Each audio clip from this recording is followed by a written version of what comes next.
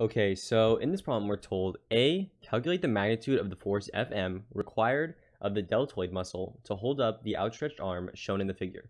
The total mass of the arm is 3.3 kilograms. B, calculate the magnitude of the force Fj exerted by the shoulder joint on the upper arm in the angle to the horizontal at which it acts.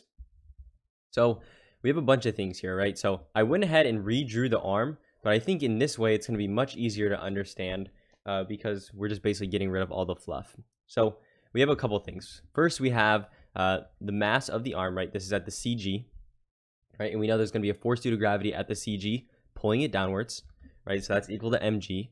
We have the for uh, the force of the shoulder joint, and they show us it's going to be pointing this way, right? And that's labeled fj, and it's going to be at this point right here. And then we also have the force fm, right? And this is the deltoid muscle in order to actually hold it up. So we know this is going to be 15 degrees right here relative to basically this line, which is in line with all of the forces. So we know all this information. We're also given the distances of FM, uh, which is 12 centimeters from the point or the shoulder joint, and then 24 centimeters away MG is, right, from the shoulder joint. And so let's go ahead and talk about how we're going to solve this. So for A, uh, the way I know, if I want to solve for FM here, what I can do is sum the torque about a point, right? In this case, I'm going to choose FJ. Uh, and if I sum the torque about this point, uh, it's going to allow me to eliminate the force from this problem and just leave me with that one unknown to solve. And you'll see how it works in a second. But essentially, the way it works is we know torque equals force times distance times the sine of theta. Okay, this is the formula. And if I sum all the torques, which basically just means add them up, I know they're going to be equal to zero, right? In this problem, since it's a static problem, they're not moving, so all the torque must be equal to zero, since there it's no there's no uh, angular acceleration. Um, and so, since that's the case, I can choose this point fj, and if I sum the torque at this point, fj is going to be eliminated from the equation, right? Because if I add the torque due to fj at that point, torque equals force, right, which would be fj, times the distance, but if it's right on top of it, right? Notice FJ is right on top of the shoulder joint. And if I sum it at that point, uh, the distance is zero, meaning the torque due to FJ on that point is zero. So it basically eliminates it from the equation, uh, leaving us just to be able to solve for FM, which is what they want here. So uh, that's how we're going to do it. So I know the sum of the torque is going to be equal to zero. Zero equals, and then I'm just going to sum up the torque for these two, right? Since this one is going to be eliminated, we don't actually care about it. So FM and mg, I'm going to sum up the torque. So we have the torque due to mg and the torque due to fm. Now keep in mind that the torque due to mg uh, is going to be uh, is going to be positive. Sorry about that. And the way this works is if the if the force causes it to go rotate around the point, right? In this case, is the point of rotation where we're summing the torque. If it causes it to go in a clockwise direction, right, which mg is doing because it would pull it this way and around, then we know that it's positive. We label the torque positive. But look at FM. If, M, if FM acts, it's going to cause it to go like this, which is counterclockwise. Therefore, if it goes counterclockwise, uh, right, the force around the point of rotation, then we call it negative. Okay? So we're going to minus that uh, since this one goes counter. And then we're going to just solve for the torques about the point. So as I said before, torque equals force. In this case, the force is mg. So we know that. Uh, and then what's the distance? So we basically do the perpendicular distance, or just the distance from the force. So this would be the distance away, right? And this distance is 24 centimeters. So they give us that information. I'm going to convert it into meters, so it would just be 0.24 meters. And then sine of theta is the angle, right? So theta is the angle between the force, the direction the force acts, in the lever arm. So this is the lever arm, right? It's our arm. And then the force is going to act straight down. Therefore, the angle between them here is a, is a right angle, and it's 90 degrees, okay?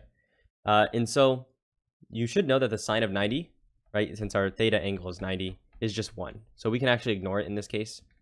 So if it's perpendicular, right, like this, you actually don't need to have the sine of theta. So now we have to do the torque due to Fm. Now we know the force in this case is just Fm, right? We don't know what it is, but that's what we're solving for. So that's our force. Now what is the distance away? So we see the distance right, relative to the line of the lever arm right here is uh, 12 centimeters there. So 0.12 is the distance. But now this one actually is going to have an angle. So uh, we know the angle, right, the force is pointing this way, and the lever arm is right here. And they actually get make it easy because they just tell us the angle here. It's going to be 15 degrees, right? Between here, the lever arm, and the force, 15 degrees. So our theta in this case, 15 degrees. Okay. And now we actually just have everything, so it's a matter of plugging it in. So uh, I'm going to move FM to the other side here, uh, just so to make it easier to solve, right? So I'm just moving this. So TMG equals TFM. So plugging our values in. I know the mass, right? M in this case was just the mass of the arm, right? Because uh, the total mass of the arm is 3.3, so they tell us that times 9.8, multiplying it by 0.24. Then we're dividing by, or sorry, we're setting this equal to FM 0.12 sine of 15. Dividing both sides by 0.12 sine of 15. That'll cancel. And now we have FM by itself, right? So FM is going to be equal to 3.3 times 9.8 times 0.24 times 0.12 times the sine of 15. So we just have the mass, the acceleration due to gravity, which is a constant. We have the distance from uh, mg to the point of rotation.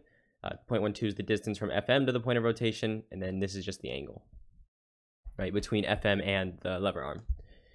So 3.3 times 9.8 times 0.24 divided by 0.12 times the sine of 15.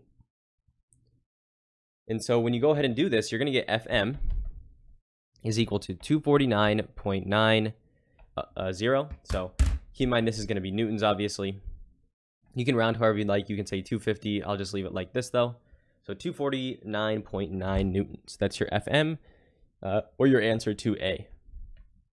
So we've got A now. Let's go ahead and focus on B.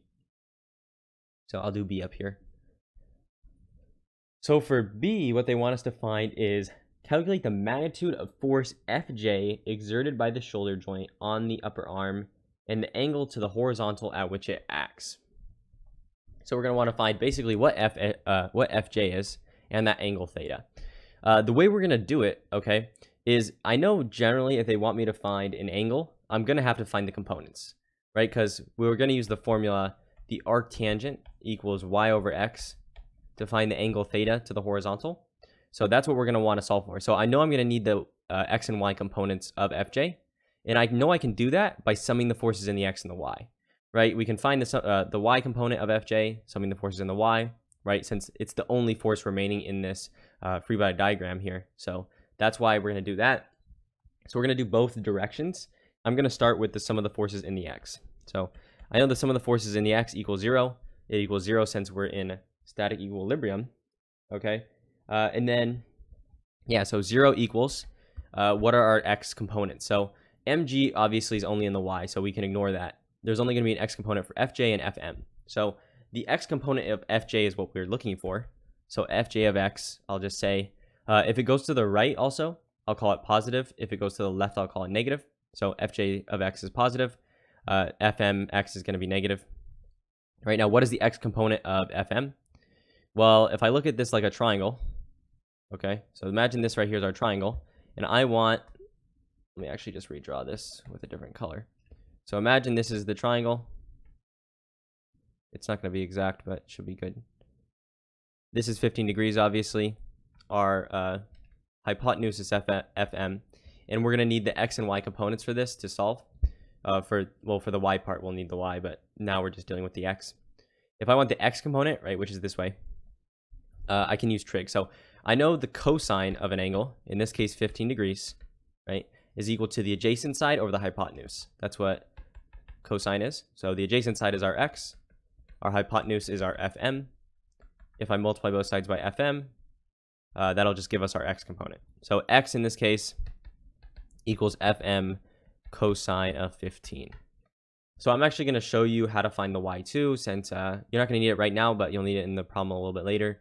So let's do that. So we're going to use sine for this one. So sine of 15, sine is opposite over hypotenuse. The opposite side of the angle is y.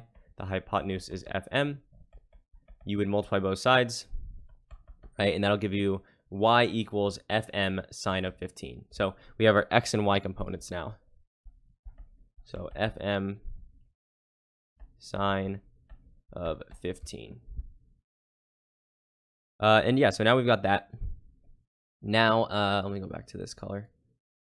There we go. And so now I got to write the x component of my uh, Fm force, right? Which was Fm cosine of 15. So we have minus Fm cosine of 15. The reason it's negative is because it's pointing in the neg negative direction here, right? It goes this way since Fm is pointing to the left. Um, and yeah, so basically this tells us, right, which should be pretty intuitive, that fjx is equal to Fm cosine of 15 right? And since these are the two forces in the x, obviously they have to be equal to each other, uh, just opposite direction, because if it wasn't, it would be moving, right? So hopefully that makes sense. So your x, or your fjx is 249.9 cosine of 15. Let's go ahead and plug that in now. Two, I'm going to use the exact value too, times the cosine of 15. So 241.39. 241.39 we'll just say. Uh, keep in mind this is newtons. Now let's find the y one. So I know the sum of the forces in the y equals 0. 0 equals. Now what forces in the y? So obviously all of these forces have a y component. For gravity, it's just equal to the gravity, right? So if it goes down, I'll call it negative, so minus mg. That's that one deal with. Uh, the y component of our fm is right here, fm sine of 15. Uh, we know it points upwards right? Because this one goes upwards. So it's plus FM plus FM sine of 15. Uh, and then we have minus, this would be minus fj of y. So we have that. Uh, and then now we want to do is just solve for fj of y since it's our only thing unknown. fj of y equals mg, or sorry, I'm moving this to the other side. So minus mg plus fm sine of 15. Now it's just a matter of plugging in. So minus 3.3 times 9.8, right? Because m is just the mass of the arm, plus fm, which was 249.9, times the sine of 15. Let's go ahead and plug this in. So you have minus 3.3 times 9.8 plus 249.9 times the sine of 15. And for this, you're going to get 32. 32.34, we'll say. 32.34 newtons. Now we have each component, and if we want to find the magnitude, uh, it's just a simple formula, right? So we know the magnitude of a force, uh, right? We'll call it Fj, right? Since that's our magnitude, is the square root of the x component squared and the y component squared. So Fj of x squared plus Fj of y squared, right? Kind of just like Pythagorean theorem. So we have 241.39 squared plus 32.34 squared. So let me plug this in. So square root that, or and then, yep. And we will get a value equal to fj is equal to 243.54. So you can round how you'd like. I'm going to say 244 newtons. So this is your f of j. 244 newtons. That is that. Uh, right, so we got our magnitude, or yeah, the magnitude. We also want to find the angle to the horizontal at which it acts. So as I said before, the way we do that is with this formula, the arctangent of y over x. So the arctangent of y, which is uh, 32.34 divided by 241.39. So I'm going to do the arctangent of this, 32.34 divided by 241.39. And for this, you're going to get 7.63, uh, we'll just say 7.63 degrees. Keep in mind, this is the angle to the horizontal, so uh, we know it's going to be this angle right here. So whatever that theta is, it should make sense that it's really small. The reason that is, is our x component is significantly greater than our y. So if that's the case, it's really not going down much in the y for how far it goes in the x. So if this distance is much longer than this, obviously the angle is going to be extremely small. Uh, but yeah, so your answers uh, are right here. So magnitude and then the angle to the horizontal. right? Because that's what they want us to find. Let me just look again. Yeah, find FJ exerted and the angle to the horizontal. Yeah, so 7.63 degrees and 244 newtons. Um, and uh, yeah, so these are your answers to B. Uh, your answer to A was right here, FM. And just a quick rundown of how we did this problem.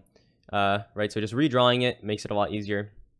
I knew if I sum the torque at the shoulder joint, I could just solve for the force FM since it would eliminate it, right? Since the distance from that point is zero, or FJ's distance. Uh, and then I just solve for FM. So that was pretty easy. And then we would just sum the forces in the X and the Y to solve for the Y and X components of FJ, combine them for the magnitude, and then just use this formula for the angle. And uh, yeah, so these are going to go ahead and be your answers. And hopefully you found this video useful.